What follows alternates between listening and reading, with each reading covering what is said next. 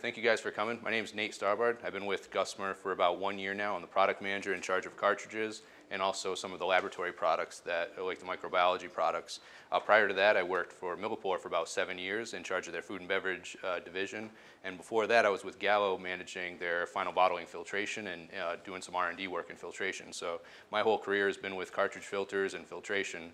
Uh, so if you ever have any questions, I'll have some cards. I think I have some cards up there. Feel free to give me a call if you ever need anything uh, with regards to filtration. It's really what I, what I do. So this presentation today, it kind of keeps with the theme of the, uh, of the rest of the sessions that we've had. It focuses on quality assurance, and really quality assurance is the one, uh, is the only way to truly uh, protect your final product, the only way to guarantee quality assurance is through a final membrane filter. The presentation today will start with an overview of the filter types and differences and membrane differences. It goes into the total cost of filtration after that. And really the presentation focuses a lot on the total cost of filtration because in addition to ensuring the final product safety, cartridge filtration is an expensive process. Those filters are fairly expensive, so we want to make sure you get as much throughput as possible out of the filters. And throughout the presentation, there's a lot of points and a lot of bullet points that I make to try to extend your throughput go into uh, optimization, operation, you'll find that operating cartridge filtration process, once it's all dialed in, once you uh, figure out how to maximize those throughputs, is actually pretty easy. You don't need an operator standing there. It doesn't take a lot of hands-on work. It's just really the upfront setting it up and getting everything working. Uh, cleaning and sterilization is important. If you don't clean and sterilize the filter right, not only will you not get the throughput that you want, but you'll also have difficulty or you won't be able to get that final micro sterility, which is the whole point of the, the membrane filtration in and of itself. The way that it guarantees product safety is by being integrity testable. We get a lot of questions with customer, from customers, especially now uh, with the rise of crossflow filters that are marketed oftentimes with a 0.1 or a 0.2 micron filter. People ask why those aren't uh, retentive, why we can't use those to uh, ensure product sterility. The reason being those membranes, even though they're made with the same material, aren't integrity testable. Only a final cartridge is integrity testable, and so it's the only one that you can have that guaranteed uh, reliability of and then what happens to do if you fail an integrity test.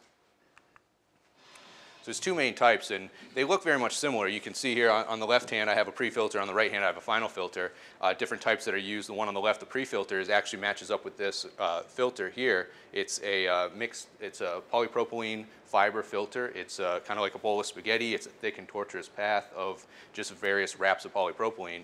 On the right-hand side is a membrane now, a lot of people, when they think of a membrane, they think it's a sheet of plastic with little holes drilled into it. It looks almost like a mesh. But as you can see, it's more like a sponge material.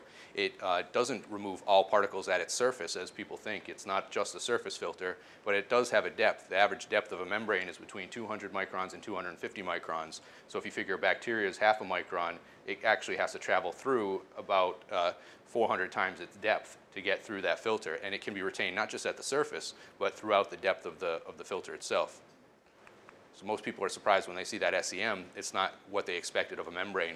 Expected something more like this, this representation here where it just has uniform holes in it. Uh, now the main thing with a membrane filter, it has the retention that's needed to ensure micro uh, sterility of the product. It has a rigid structure and there's no particle unloading. Most pre-filters, uh, especially those that are wrapped, will have some type of uh, particle unloading if they're hit with a, a high pressure shock or as they get plugged. Uh, and it is possible to have some growth through with uh, pre-filters. With membrane filters, as long as it's integrity tested, as long as it's working, there can be no growth through, there can be no passage of those microbes from the upstream down to the, to the downstream portion of the process, regardless of the pressure. Either a filter is integral or it's not integral. If it's integral, it's uh, performing its job in removing those particles. The big problem with membrane filters, though, of course, is that uh, as they're just a thin piece of plastic, they uh, don't have a very high holding capacity. You don't want a membrane filter to do the, do the to, to do the majority of your uh, final filtration. You want the membrane filter just to be there as the final QA guarantor of ster sterility. You want all of the bulk particles to be moved upstream, either in the clarification process, which you've already seen by now in uh, Calvin and, and the other uh, presentation on uh, wine preparation, or you want the pre-filter to be removing those particles. We ideally recommend that for if you look at your um, uh, your pre-filter usage versus your final filter usage, you should be using about twice as many pre-filters as your final filters. You want a two to one ratio. You don't want the membrane filter to be using or to be doing the bulk of that um, filtration. If you have a one to one ratio, then there's probably something we can look at. Either you're not using the right pre-filter, you need to tighten that down, or uh, there's something that is going on that affects the membrane worse than the pre-filter. Usually those types of things are poor cleaning processes and poor uh, water that's used for sanitation and sterility. So those are two areas that we commonly look at if a customer does have a one-to-one ratio. You really want the bulk of the, of the filtration to be performed at the pre-filter step. There's a picture made by my predecessor's kid at Millipore, just kind of shows that again. You want the tree to be the depth filter. You want uh, that to remove the bulk of the particles. The membrane is just there to pick up those extra stray microbes that get through the rest of the process. You don't want that membrane being overloaded. With regards to pore size, uh, so the PVDF filter that we use, the Vitapore 2 Plus from Millipore, is available in 0.1 all the way up to 1.0 micron pore sizes. Uh, 1.0 micron in the wine industry is commonly used for Brett removal. Uh, now, I know there's been a lot of studies recently, some work done by Charlie Edwards up in the University of Washington that has shown that certain Brett can be seen downstream of 1.0 micron filter, but in all of those studies and all of those instances, uh, the Brett was never seen to be viable. So even though you may be able to see a cell downstream, it's so stressed and it's shedded so much water that it, it's shrunk to pass through the filter, but it won't grow and it doesn't uh, pose a quality concern. So we can still reliably say that a 1.0 micron membrane does reliably protect the wine from uh, Brettanomyces, even though in certain rare instances, mostly in the laboratory, they have been able to pass non-viable Brett through a 1.0 micron. Yeast is removed completely by a 0.65 micron filter. Uh, now there's a bit of a disconnect between the wine and beer industry and, and uh, the rest of the filtration world. If you look on the internet, if you look at literature from another industry, you'll hear sterilizing grade and that goes to a 0.2 micron filter. The rest of industries, bottled water, soft drinks, um, sports drinks, energy drinks, those types of uh, products, and most importantly pharmaceuticals, when they say sterilizing grade, they're talking about 0.2 micron filter that removes all bacteria and all, all uh, yeast and contaminants other than virus. In the wine industry, you say sterilizing grade, you're actually referring to a 0.45 micron filter, which is unique to, to wine and beer, and the reason being that it removes um, the part, the products of concern for those industries. So it is essentially sterilizing grade for those industries. Sorry, go ahead. A mold is very large. Mold is, is removed well above one micron. So any, any of these filters would, would completely remove mold. Uh, and then at the lower end of the scale, so the tightest membrane cartridge that you can get is 0.1 micron, and that's used uh, for virus clearance in pharmaceutical. Of course, the most important thing of, uh, of running your filtration process is to make sure the filters don't plug. You want the maximum throughput uh, through those filters as possible. The main things that determine that are the quality and filterability of the feed, the type of the filter used, the membrane, uh, the cartridge that's actually used, and then most people overlook the speed and the flow rate that a process is run. Uh, 10,000 gallons filtered at 10 gallons per minute will have a much higher throughput overall over the life of the filter than 10,000 gallons filtered at 20 gallons per minute. That actually does have a big impact. It's not just the batch size, it's the flow rate at which that uh, batch is processed through the filter. And that has to do with the way the deformable particles, they blind off the membrane and they, they start to plug more of that upstream rather than the, the middle and the downstream portion of the filter.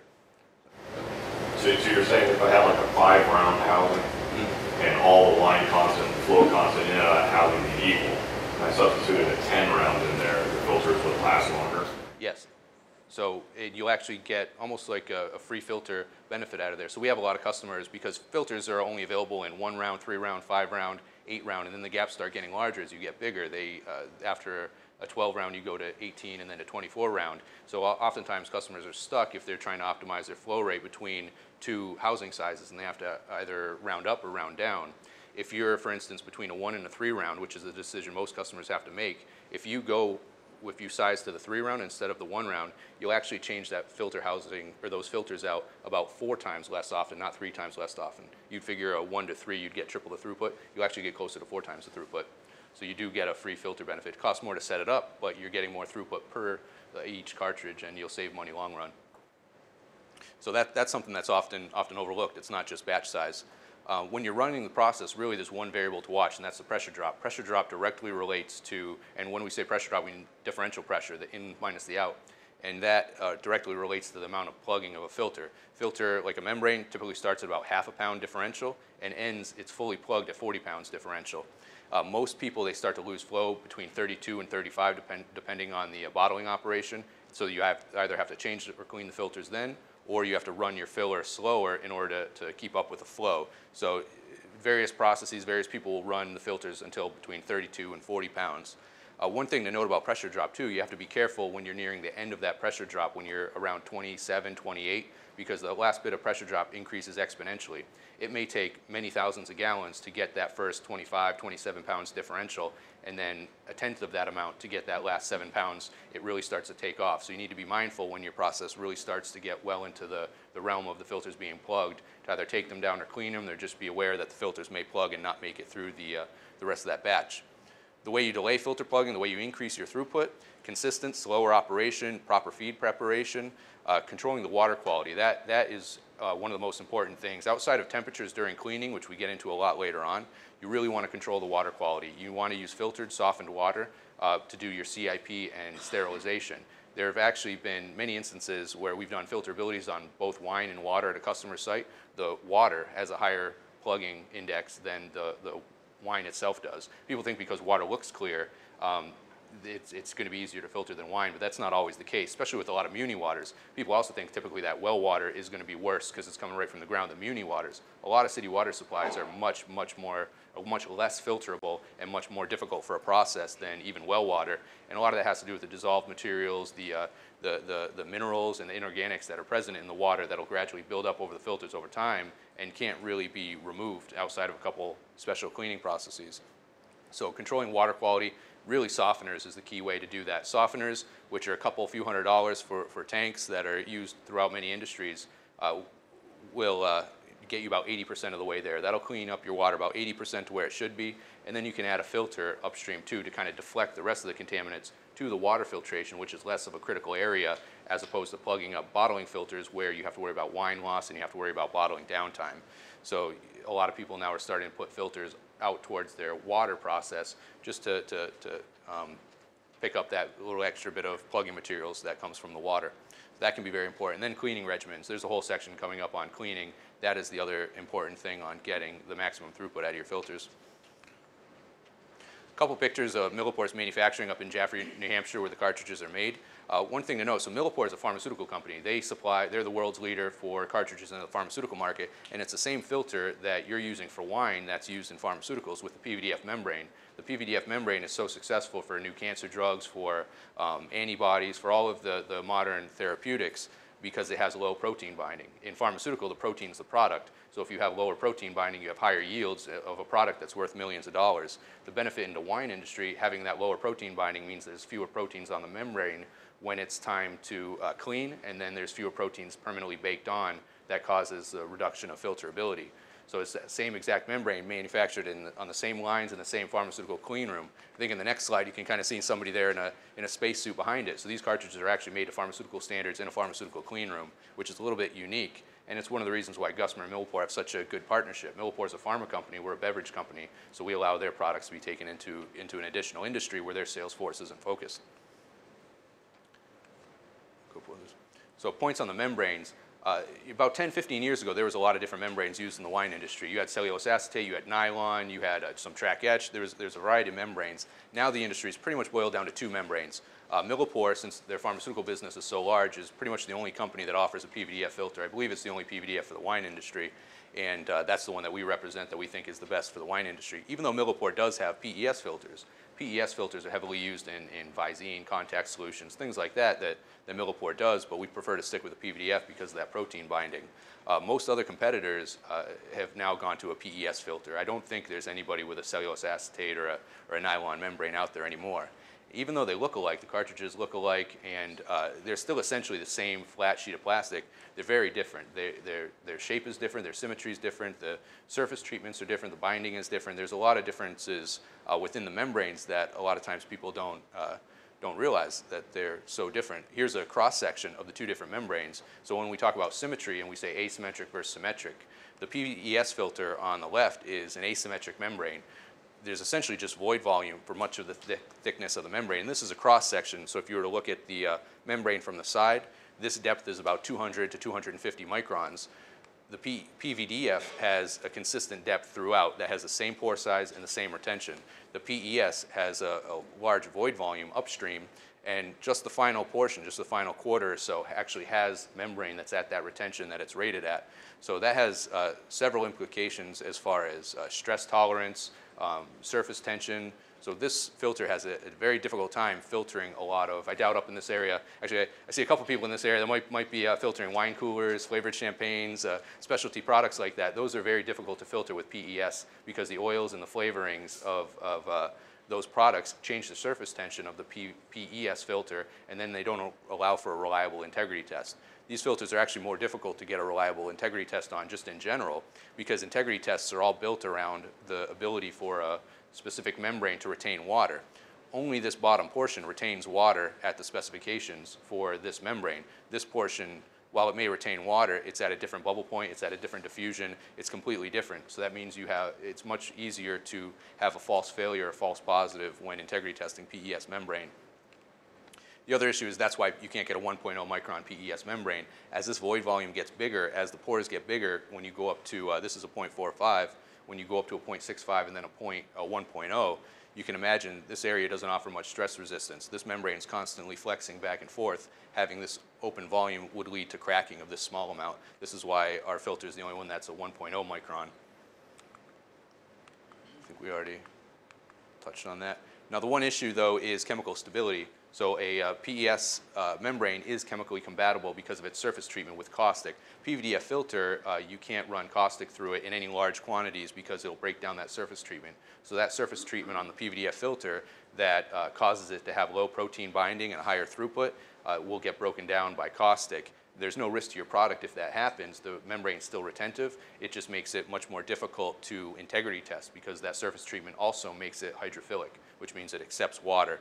Um, but any other common chemicals, peracetic acid, um, hot water is usually the best cleaning agent. Those are compatible with either membrane.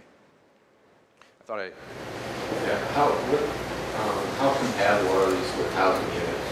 Um, housing units? Yeah, so, so, for example, you, you, you have to specifically have a, um, a Millipore housing unit use No, so- So so- how universal are, are the sizes? Completely universal. So they all have the same. So this is a code seven. Um, a couple, most manufacturers call this code seven. A couple call it a different thing. But the design, the 226 O-ring and the locking tab for this one is the same across every manufacturer. This is probably 90% of the industry now. Um, this one is an older code five, so it's, it has a smaller O-ring and it uh, doesn't have the tabs. But uh, in general, every manufacturer offers every single code. So that's, you can uh, use anybody in anybody else's housing.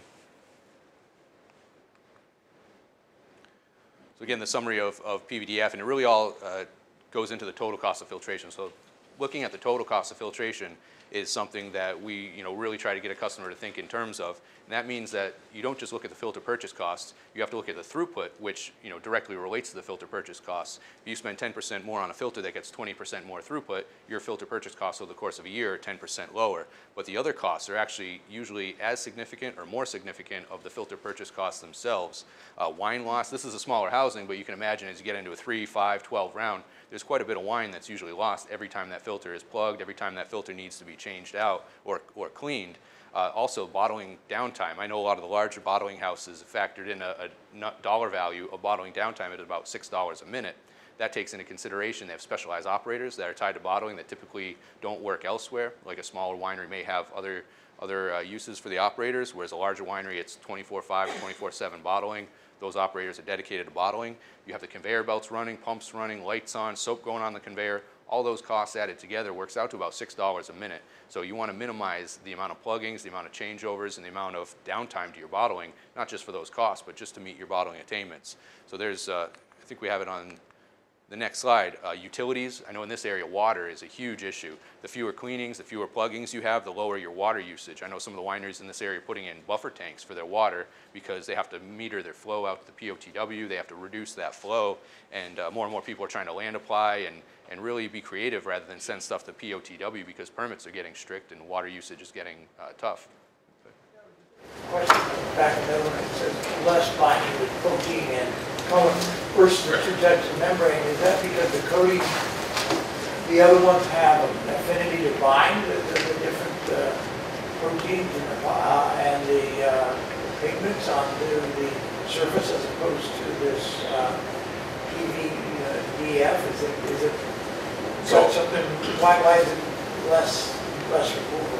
I guess my question. It's both, it's both the material and it's, and it's the, uh, the surface treatment. So every membrane, every plastic essentially, but especially membranes, they have an affinity for protein. Every, every membrane will bind some amount of protein. PVDF is significantly orders of magnitude less than PES. Uh, the worst one back in, I don't think anybody's using about five or seven years, was uh, nylon. Larger nylon housings would bind so much protein, it'd look like water coming out of the first run. You'd have to just run the first amount. Not only does that, um, and typically with the mixing and the larger filler bowls, you're not going to see a degradation of product there due to that, that amount of binding. Where you really get hurt is in terms of the throughput because that binding of material on the membrane then gets baked on and stays on after the cleaning process and uh, causes your filter to not get as much throughput through it. So it's not as much a quality concern as a, as a throughput concern. What about the Zeta charge? Is that different between the two membranes? Uh, these ones don't have a zeta charge. That, that's a separate property on depth filters. So your, your cellulose, lenticulars, and sheets, that, have the sloughing of electrons where you get a, uh, ion grid across there where you, put the line on it? no, did completely different processes. These ones don't have any kind of zeta or positive charge to, uh, so lenticulars and sheets want that because it helps to remove certain particles. in this case, These, it's a flow, you know, no, it's, gasoline, you know, and refilling. Sure. No, in this instance, just chemical binding. It's the same thing with any plastic has a slight affinity for, or proteins actually have the affinity for the, for the uh, plastic material. This just allows the, the proteins and the colors to pass through the membrane without laying on the surface of the Correct. material. Correct. Correct. Yep. But no matter how you look at uh, the total cost of filtration, really throughput, how many gallons you're getting per changeout is the key metric. Everybody should know exactly how many gallons on a rolling basis they're getting through each uh, changeout. What we recommend with a Vitaport 2 30-inch preceded by a Bevigard M pre-filter, you should get about 100,000 gallons minimum through that 30-inch filter. When you scale that up to a 12-round, you're looking at about 1 million gallons for a 12-round. That's really where we like to see customers. We have some customers who've super optimized and really do a lot of specialty cleaning processes that are getting 3 million gallons reliably through a 12-round. And that, that's pretty extraordinary, but you can see the, the capacity for optimization. A lot of customers are down around 50,000. If you can even get up to 200, 250,000 uh, gallons per, uh, per filter, then not only are you reducing your filter purchase cost by four times, you're reducing your wine loss, your bottling downtime, all of those other things that go into the total cost of filtration. So there's actually a huge capacity for optimization with specialty cleaning and with, uh, with some other things that we'll go into later on. The other big point, other than throughput directly offsetting filter costs, the total cost of filtration, is of course quality. One single quality instance, especially up here, you're going to, one, one small hold, you go through about 10 to 15 years worth of filter purchase costs in, in uh, wine. I mean, there's really nothing more damaging than a QA incident. And of course, each situation is going to be a little bit different. We, we calculate the total cost of filtration for different customers. We look at it. I, I've got some spreadsheets that calculate out the, uh, the electrical costs in the area, the uh, average operator labor usage, and you know, detailed calculations, how you value the liquid wine. So each situation is going to be different. But in general, you're looking at these costs are going to meet or beat the cost of filter purchasing. even though we say filters are expensive and we know everybody wants to get the throughput, it's important to put it in a perspective of the other, of the other cost of an operation though.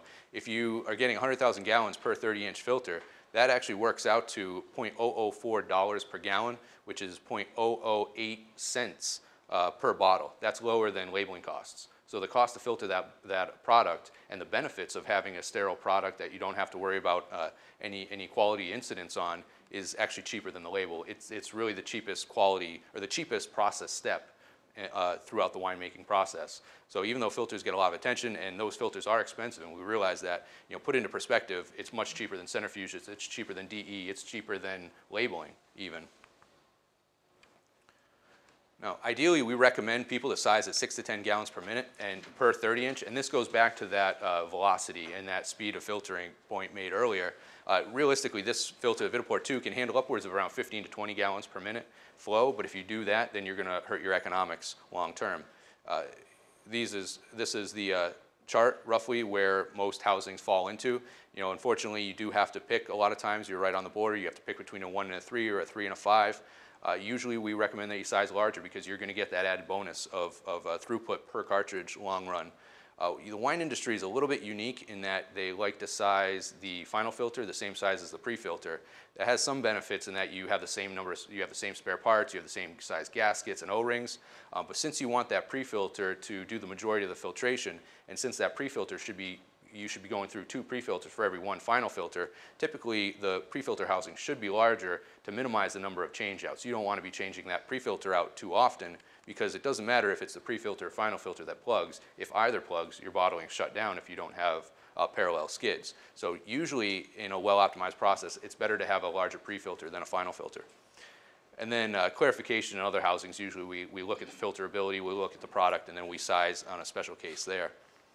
One of the things that's finally gaining ground in the wine industry that's used in other industries, and I, and I think is a, a great thing and economically will usually pay for itself within a month or two months, is to use parallel or dual filtration skids.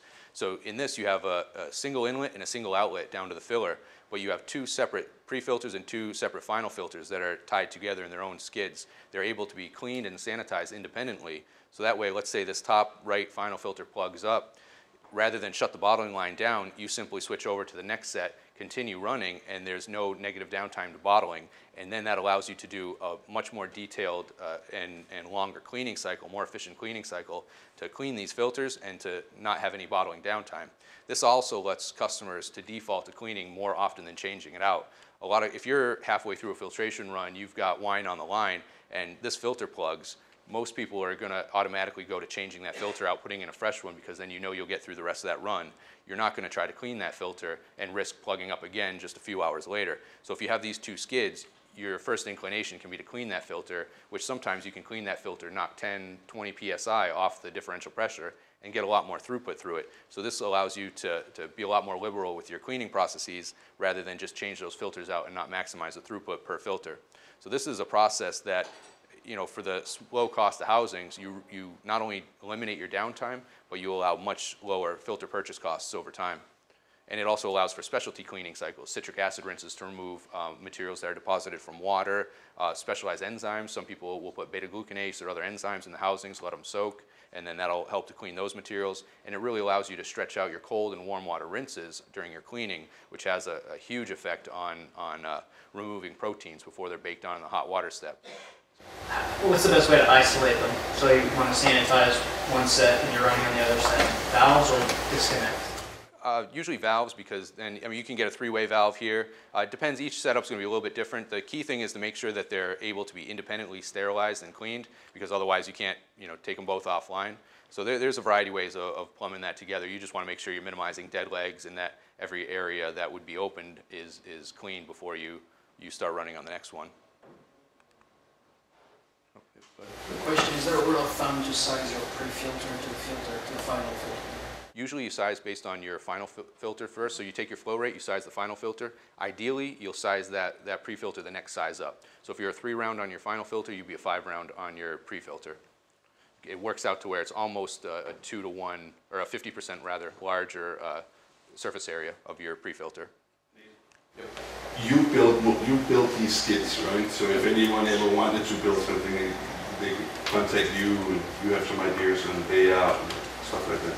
Oh yeah, yeah, I'm, I'm familiar with these kids, so If you ever want to do that, you can. From a, from a filter storage standpoint, once you wet the filter, how long can you keep it uh, isolated before you have to run something through it? Before the filter starts to, to uh, break down or degrade? Sure. Um, usually depends on the wine, the winery, and then uh, how confident you are in the system.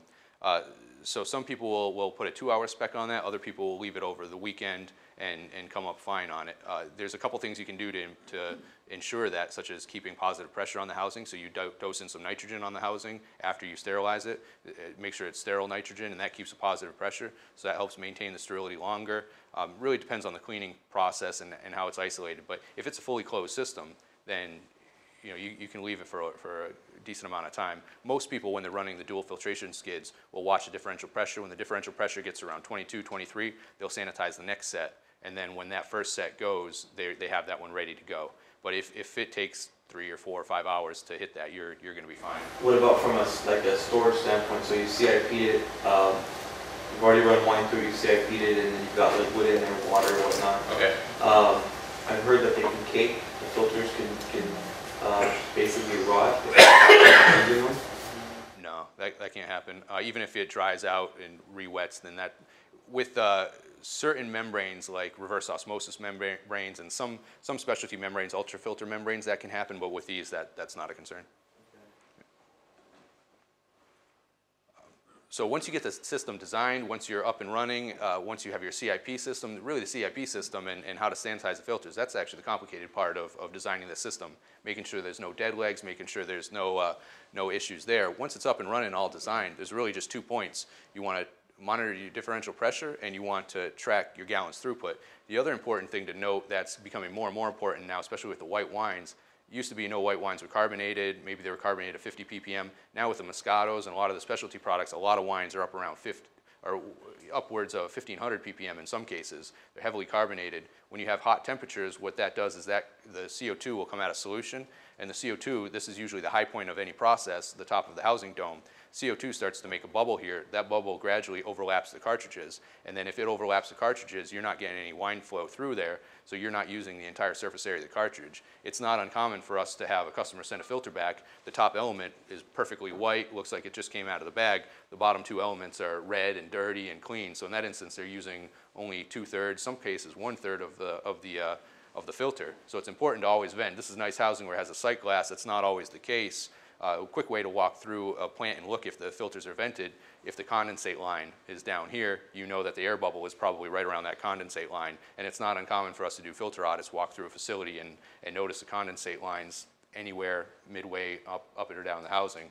Uh, the other good point about, the other thing to remember about venting the housings is uh, in the wine industry, you're used to dealing with a very low dissolved oxygen product. Wine's kept with a low DO.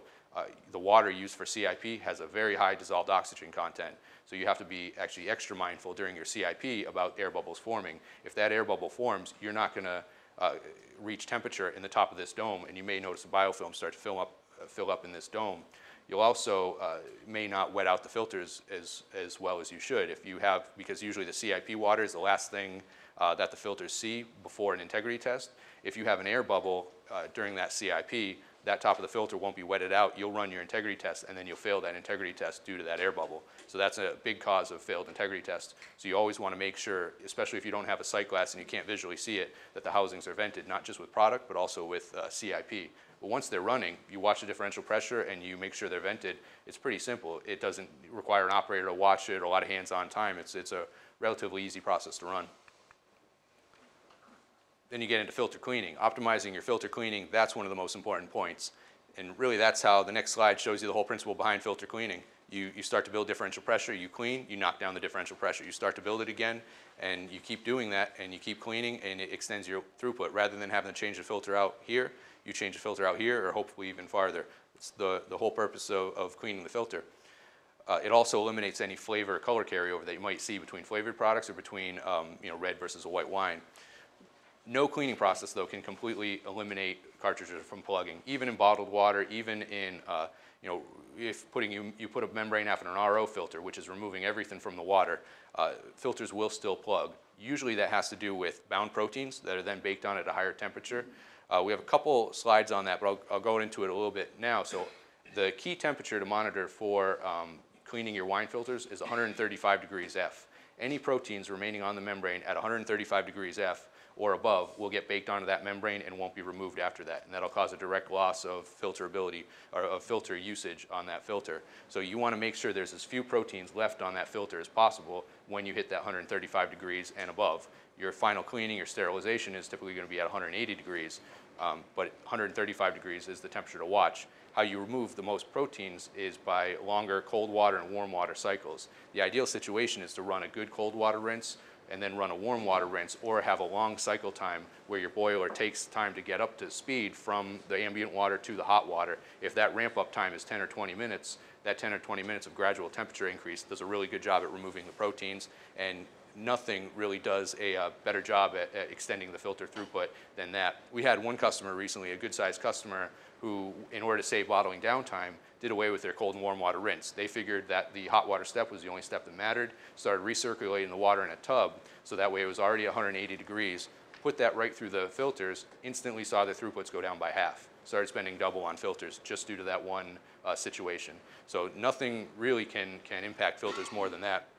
And we know when that's going on. We see the filters come back. Customers will usually call us. They're seeing much different throughputs. They're not sure why. They'll send the filter back if you cut open and look at that filter, it looks like a glazed pot. There, there's like an enamel on it if you go directly to hot water after uh, filtering, especially you know heavy red wine. So that, that's really one of the main limiting factors of filter cleaning. Uh, also, water material, uh, materials from your water source, inorganic silicates, carbonates, things like that. Some of those can be removed by citric acid rinse. A citric acid rinse on the filters, or even a, a soak with a small flow rate for a little while, uh, once every two weeks or once a month, does a really good job at knocking off a lot of the materials that are present from water. Uh, it dissolves them away. But that being said, a lot of those materials uh, can never be removed. So once they're on the membrane, they're on the membrane. But a, a citric acid rinse will help that. But these two things together can never be completely eliminated. And even in the best process, will gradually plug your, your membrane filter. What's the best way to check your water filterability? We actually can run, you guys, yeah, this last session of the day, so you'd have already seen uh, Calvin's presentation on filterability of the wine. We've actually run those filterabilities on water as well. Uh, typically, just putting a softener in there that's a couple, a few hundred dollars will get you about 80% of the way. That does a real good job at, at uh, cleaning up the majority of these types of materials. You can put a filter up there as well, and then that just, that doesn't that cleans up the water, but what it more does, because that filter has a cost, is it deflects the costs away from the final bottler and make sure that you're changing that filter out outside of bottling and wine loss. So it reduces your total cost of filtration by, by pushing those elsewhere. Um, but there's also some water analysis that can be done to look at if there's any silicates or carbonates. There's uh, some quick little uh, membrane. You can buy the same uh, membranes that are used in the cartridge in small disc format and run it through. And, and uh, there's a silt density index test that's commonly used for industrial plants that are looking at their water quality. And uh, we have protocols for those on our website, or we, you know, we're used to helping customers out. So there's a variety of things you can look at to know if you have a, a, a water that is really plugging and, and uh, giving your filters a hard time. Process flow, the process flow for cleaning, can you, uh, you want it to be the same as the wine flow, or can you Correct. Uh, you, you can reverse clean these filters, so that's, uh, so our Vitaport 2 is the only filter on the market that it can actually be reverse cleaned, but you have to be very careful with that. Reverse direction is the uh, most, the most fragile uh, direction for a cartridge to have flow. So if you look at the pressure specifications, uh, at ambient temperature, the pressure specification for this cartridge is 80 in the forward direction. At ambient temperature, that drops to 25 pounds uh, in the reverse direction. At elevated temperature, the forward direction is 25, that drops to 5 pounds in the reverse direction. Those specifications are, are- have a big safety factor built into them, but you can also, but you can already see where um, especially if you don't do a good cold or warm water rinse, uh, your differential pressure is going to be high when you get to that warm water step. So that's another point where if you're going to reverse clean, you need to do a much more of a cold and warm water rinse in order to drop that differential pressure down to an acceptable le- level, 0.5 or uh, 5 psid or lower, in order to reverse clean. So, but you can reverse clean these filters. We did one uh, large study with a customer not that long ago who reverse cleaned a competitive filter, found out that, went to the competitor wondering why their filters were breaking, and they said, you, reverse clean them, you know, we, we have nothing to do with that, you can't do that, you're, you're on your own. So we did a validation with that customer, and over the period of several lines and several months, they did 50 back flushes, not one failed, and they've been using it ever since. So it is back flushable. We hesitate a little bit in recommending it because you have to have a good process. You, ha- you can't have water hammer, you can't have uh, you know, pressure shocks or, or valves getting slammed open or closed. You have to really watch your process. But if done correctly, it can usually offer 10 to 20% greater throughput, especially if you have any uh, hard particle issues. So reverse cleaning with regards to microbes or carbohydrates, stuff that's broken up or dissolved, really has no benefit. But where it has a benefit is if you have a DE filter prior and those screens can get cracked, you can have bleed through. Uh, if you're doing any kind of carbon up, up front or, or anything like that, or even bentonite, those types of materials, you do a back flush to drain, you always want to make sure you break your pre and final filter because there's no sense in doing a back flush and then it ends up on the downstream of the pre-filter and just keeps bouncing back and forth in there. You want to break that drain, back flush to, to drain, and with hard particles, that does do a very good job at cleaning.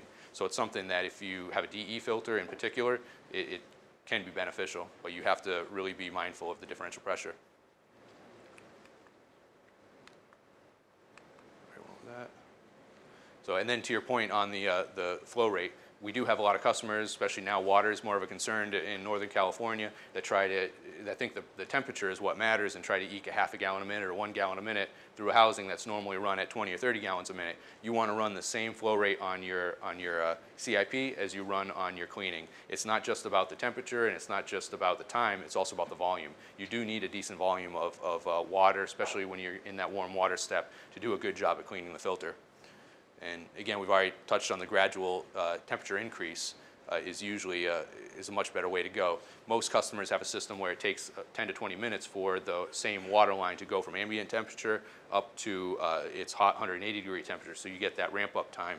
Some customers, uh, and this isn't very common, but it really does a good job, will actually have a system where you can stop and hold. You can stop and hold and do a 10 minute rinse at 90 degrees. You can stop and hold and then at 120 degrees do a 10 minute rinse, and then you let the temperature increase up to its 180 from there. And that does a significantly better job at cleaning the filters as well. But those types of systems typically aren't very common. I think Yvonne's presentation touched on a lot of the sanitation. Typically, a filter is sanitized just the same way as the, the process line. 180 degree water for 30 to 45 minutes. You want to use it to prevent biofilms, to uh, destroy any microbes that are in there. It's both a factor of contact time and temperature. Really, the only unique thing to filter housings, uh, you want, you can't use caustic, um, which most people will sanitize or clean with hot water anyway, and you have to watch this high point in the system. You want to make sure there's no air bubbles that are entrained in there, uh, causing a, a, the inability for that water to reach the top of this dome. Other than that, the filters are pretty much sanitized exactly the same way as, uh, as any other step of the process.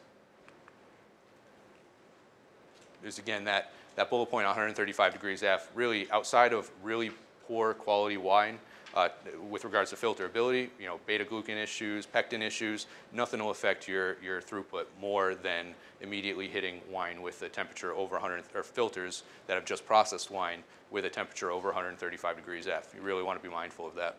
And this is again the uh, influence of temperature on differential specification. Even though we put 80 pounds pressure, that's where all the filter companies have kind of settled on a specification. Every filter pretty much has a specification of 80 pounds. We've tested ours. You don't have any failures up until 120 pounds. So there's generous safety factors built into here, but you also have to be mindful that as that temperature increases, the cartridge as a piece of plastic does get weaker, uh, especially in the reverse direction.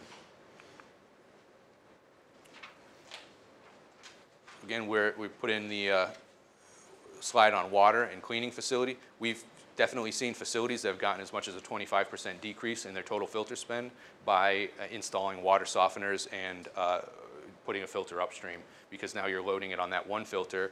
Then maybe you can do a specialty cleaning on that one filter, regular citric acid rinses that you don't have to do on the several filters or the bottling line that's tied to uh, operators and wine loss and everything else. on sterilization, most of us go through the membrane and then sterilize the. Uh, Hot water uh, sterilization versus steam on the life of a cartridge.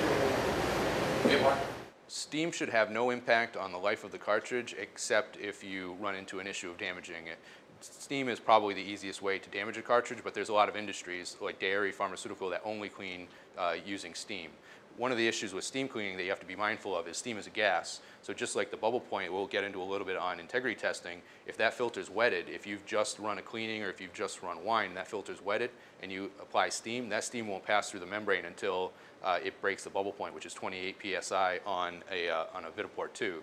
So you're going to have a pretty elevated temperature uh, and a really elevated differential pressure. So you have to make sure the condensate's drained. Ideally, the filter will be a little bit uh, dry. It'll be a little bit old, uh, or there it'll be have have had some time pass between the cleaning or the wine and when you apply the steam. That's a good uh, best practice. Uh, if by breaking I mean, if you exceed the recommended temperature, you know, 230 or something. Or, or exceeding the temperature. I mean, actually, the, the filter, the membrane is compatible up to 320 degrees Fahrenheit. It's the, uh, the pliability of the plastic. You'll see the cartridges might bend with the pressure. You might uh, damage it, and you'll catch that in an integrity test. If you have a steam issue, you'll, you will have an integrity test. Whenever somebody goes to steam cleaning, it's pretty rare. Some of the mobile bottlers do it because they're limited on water, uh, and it does a good job at, at hitting all the surfaces. Um, other than that, I would say fewer than 10 wineries that I've seen regularly uh, use any type of steam cleaning. Once you get it dialed in, once you get that process you know, figured out, it's something that can be reliably used. Um, but in that initial installation, it's common for them to come back to us and found out that the condensate hasn't been drained, enough time hasn't passed from a wet step to the steam step to where the cartridge will be damaged. That You'll see the tabs bent, you'll see the cartridge uh, broken because steam is difficult.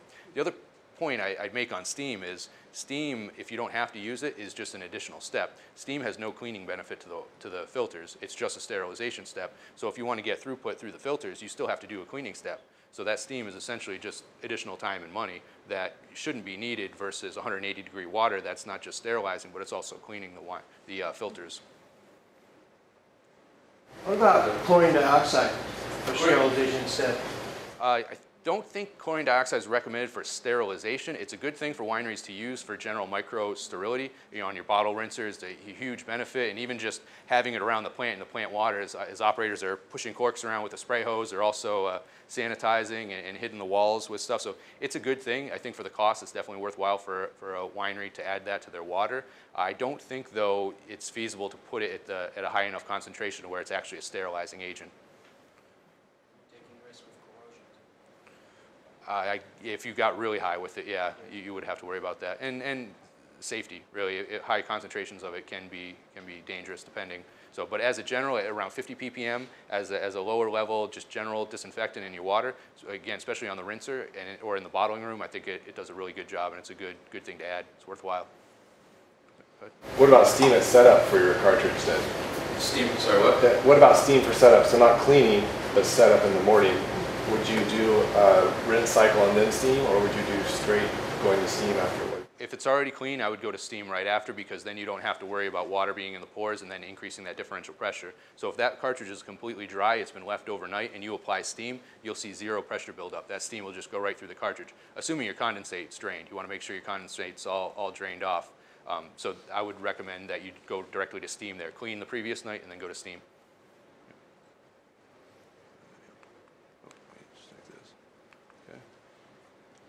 So the next uh, section goes through integrity testing, you know, keeping with the theme of all the sessions as far as uh, quality and micro assurance. This is what allows the filter to have that, that uh, you know, to allow it to reliably remove microbes. It's the fact that you can check it. Very few processes have a built-in method that doesn't destroy the, the, the step or is, can be done uh, right there in the winery to make sure that it's running efficiently and effectively.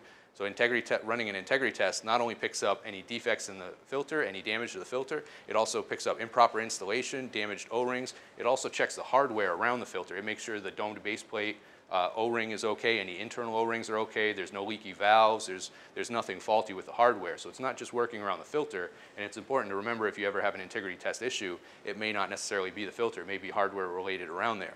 The other good thing that a lot of uh, wineries uh, find with integrity testing, integrity test specifications are built around a specific filter. So a lot of the wineries, especially in this area, will use 0.45 micron and 0.65 micron filters. Some use a 1.0 micron filter. Outside of the printing on the top of it, it's difficult to tell which is which. A lot of customers also have difficulty looking at which one's a pre-filter, which one's a final filter. Pre-filters aren't integrity testable. It's not uncommon for us to get a, a call from a facility that has a, an 8 or 12 round housing. They can't get it to pass integrity. We go in there and there's a pre-filter in the middle of the housing and the rest are final filters. Uh, so that it makes sure that the correct filter is being used. If you want to use a 0.45 on certain wines and a 0.65 on other wines, this makes sure that you're using the right filter on that particular wine. So it doesn't just tech, test the, uh, the fact that the uh, filter is working correctly. But In your experience, in- my experience of changing filters, it seems to me that, I think in all my years of doing it, I've had a bad, a truly bad filter cartridge, mm-hmm. I think once. But most of the time, what happens is it's always the O-ring on the bottom, or it's an O-ring in the housing. yeah. That I was actually able to identify, okay, this was pinched or something like that when it was put in. I think I've only had one occasion, I mean, is that what you see too, I mean, most of the time? It shouldn't happen. You, you should ne- with these filters, you should never have an integrity failure. And if you ever do have a true integrity failure, we want to know about it. We'll take the filter back. We have a setup in Fresno that'll check the filters. Millipore takes them back, and Millipore builds that into a database. Uh, these Vitaport 2 filters are the number one filter in not just in the U.S. for, for wine, but globally for wine, beer, and, and water. Uh, number one in Japan, Asia, Europe. So they sell tens of, actually hundreds of thousands of these filters to wineries, and uh, that goes into quality programs and, and improving the product. Uh, for instance, uh, this last, this new filter, uh, the Vitaport 2, that was released about six years ago, the number one area, uh, if you use any competitive filters, uh, where those filters will damage and you'll have a true integrity failure, is where the soft, pliable membrane bonds into the hard plastic of the end cap. With all the shear that goes back and forth, that causes, that can cause a separation of the pleat pack to the end cap. So Millipore, six years ago, looked at that, came up with a new patented end cap that allows for about four times as deeper potting to eliminate that. Since that went into effect, what's really the number one cause industry-wide of true integrity failures, we haven't seen one in six years. So to answer your question on if a filter should fail, absolutely should not fail. Your filter should, end of life should be determined by throughput. It should never be determined by integrity. If you have an integrity failure, we'll always want to hear about it. Run all your filters, uh, integrity check before they are. Uh, in some cases, they're integrity tested up to three times, and Millipore uses a proprietary gas. Uh, so we'll get into that in a little bit, but in a nutshell, um, every foot of membrane is tested, every 10-inch element is tested, and then if that 10-inch element is put into a larger cartridge, the entire cartridge is tested. And it uses a gas, not water, um, which is a pretty expensive process, so not everybody does it, but what that does is that eliminates membrane defects. So that has some good implications when we're talking about the specifications and running uh, integrity tests. Uh, for instance, the bubble point specification is 28 pounds pressure. We get a lot of calls from customers that say my, my bubble point was 26 or 27 pounds.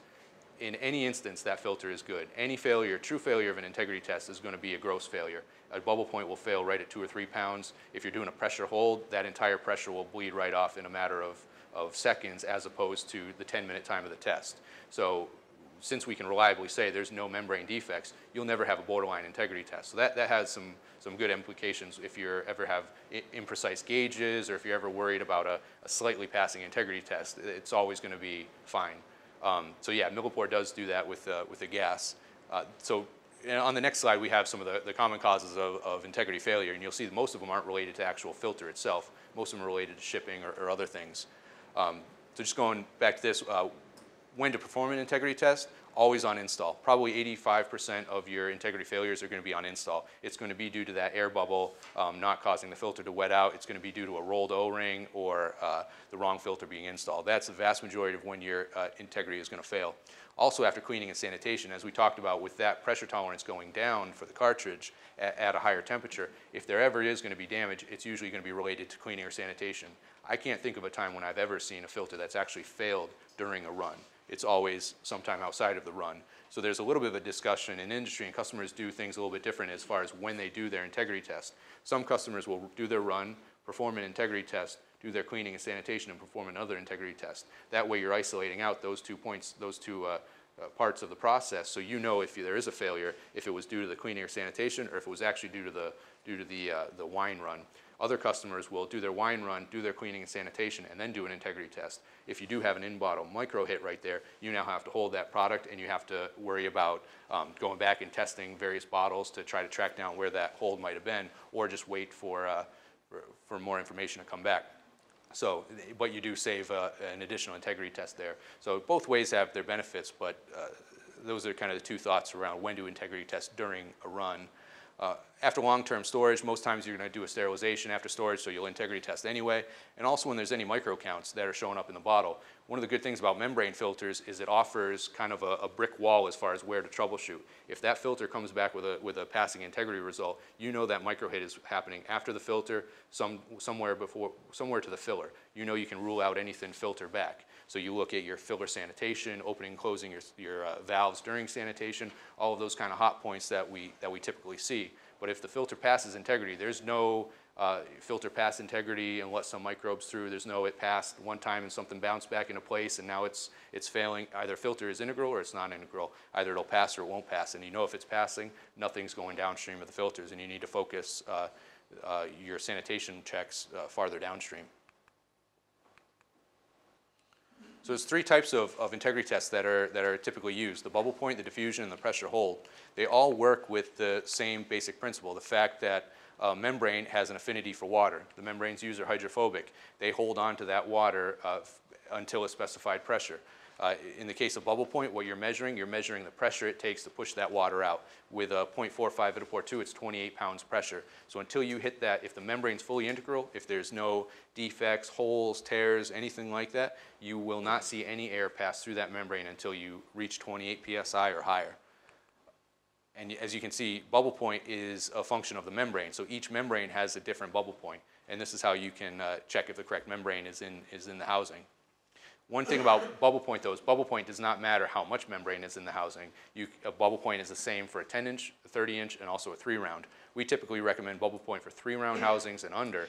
Um, above that, you can still use bubble point. There's some customers that use them upwards of eight rounds, but it, it does have some issues with, uh, with uh, it's, it's easier to prematurely push the water out. So we recommend a pressure hold or a diffusion test if you're above a three round which goes into the next type. So the next type of integrity test is the diffusional flow. This is the most sensitive type of integrity test. This is what, if you, anybody's using an automatic integrity tester, this is what they're measuring, and this is what the pharmaceutical industry measures. It starts off with that same principle that the uh, membrane retains water, but it adds in a second portion, being that uh, if there's a high concentration of gas molecules upstream, uh, and then the downstream is open to atmosphere, so it has a low concentration of gas molecules, that air, those air molecules are going to dissolve into the water, travel through the water, and then uh, end up in the downstream.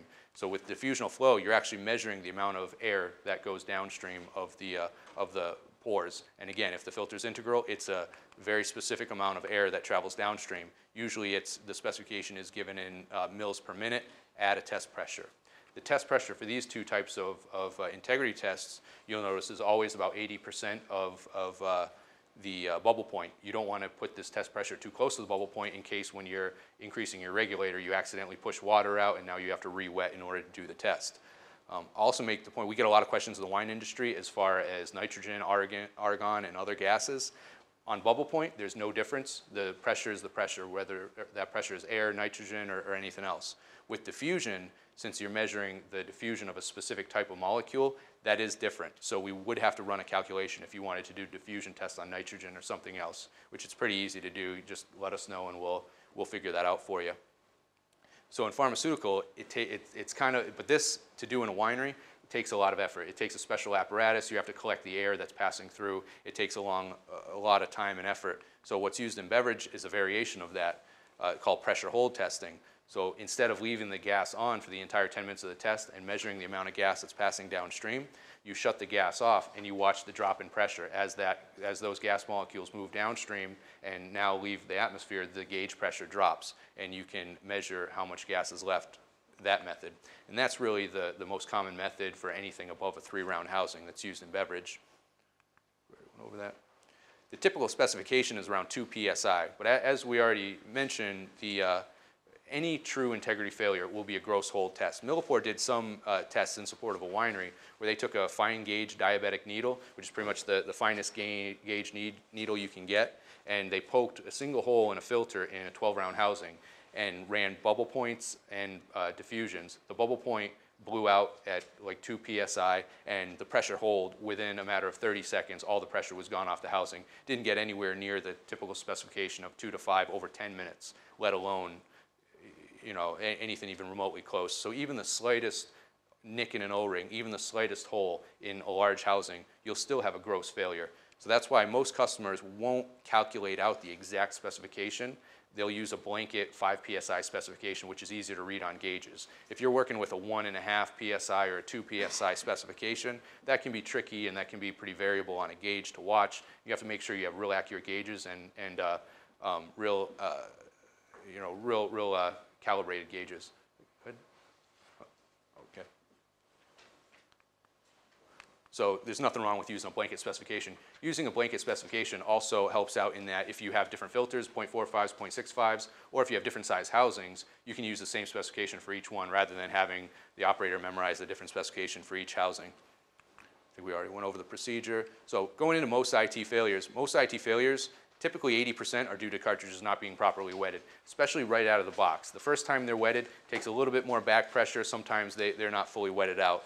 That, that's the most common, uh, common cause. The other common cause is rolled O-rings. We get a lot of people ask us why do cartridges have two O-rings. The reason is any, uh, particular, on any particular installation, each O-ring has about a 5% chance of rolling. So if you add two O-rings to the cartridge, you have a 5% chance of a 5% chance of rolling both O-rings and having a, a non-integral filter, which is, means it'll occur in about one every 400 cartridge installs. So it still does happen though. On a 12 round, especially on multi-rounds, that means it'll happen about every 33 setups that you need to take all those filters out and reinstall them and that'll eliminate the rolled O-ring. You can wet the O-rings on install with, with uh, wine or water, really anything. Just add a slight bit of lubrication really helps that out and helps the install and, and means they won't roll as even as often, but it's still something that, that occurs. Uh, valve issues is another common one. Faulty valves, you know, they have to be rebuilt, they have seals in there, you have to worry about valve issues. Always re-wet and retest the filters the first time. You always have to, to have to check that first, and that'll take care of most IT failures. Your second step should be to pull out all cartridges, inspect them, reinstall, and re-wet. Uh, if there's any, ever been any damage, uh, one of the other common ins- uh, instances of cartridges being uh, damaged is during shipping. UPS and FedEx are notorious for breaking cartridges. If you see any box damage, always check out the cartridge. Really do a good inspection. A lot of times, cartridge you'll be able to spot something that happened in shipping before you go through the hassle of wetting and integrity testing the filters. Probably the trickiest IT failure that is along these lines that gives customers a lot of headaches and a lot of hard times is the cartridges come in double poly bags and operators have a tendency to want to open those with box cutters and razor blades and it doesn't take a lot of force or a lot to nick go through one of those windows and nick the membrane. Even a slight touch may cut the membrane and that's not something you're easily going to see on an inspection. You're not going to be able to look in every single one of those windows. Millipore gets a lot of cartridges back that have just a perfectly uh, little little slice in them and they know it's automatically due to uh, due to a razor blade. And since you can't see it, that's one that'll really give you a lot of headaches. A lot of customers now have dedicated scissors so you can cut open the box or cut open the top of the bag, or they'll ban box cutters and razor blades from opening the cartridges. They have to open them by hand because that is one of the, unfortunately, one of the most common issues. And it's a special, it's an expensive piece of, of uh, you know, it's an expensive cartridge, so you hate to damage it with a razor blade like that. So as we already mentioned, the Vitaport 2 is a double integrity tested. So the cartridge, if it's a multi if it's a if it's a multi-element cartridge, is double integrity tested. The membrane is also integrity tested by the foot. So no uh, membrane defects leave the plant.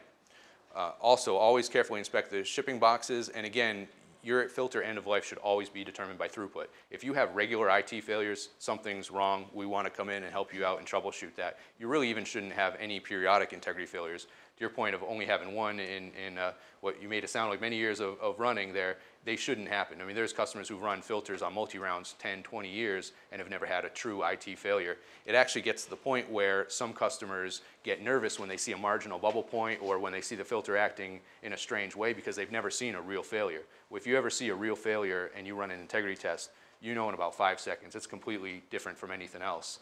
Um, so some customers see them so infrequently or have never seen them, they don't quite know what to, what to make of normal things when, they, when it goes on.